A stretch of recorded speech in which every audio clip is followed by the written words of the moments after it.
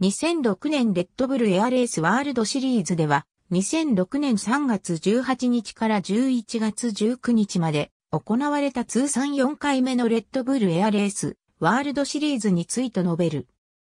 2006年の開催地は、オランダ・ロッテルダム、オーストリア・ツェルトベク、アイルランド・ロック・オブ・キャシェルなどで、試合数は前年の7から9へと増え、新たにスペイン・バルセロナ、ドイツ・ベルリン、ロシア・サンクトペテルブルク、トルコ・イスタンブール、オーストラリア・パースが加わる。サンクトペテルブルク戦は中止となったほか、イギリスロングリート戦が強風のため予選の結果がそのまま公式戦の結果として採用された。前年は欠場していたアメリカのマイケル・グーリアンが再参戦。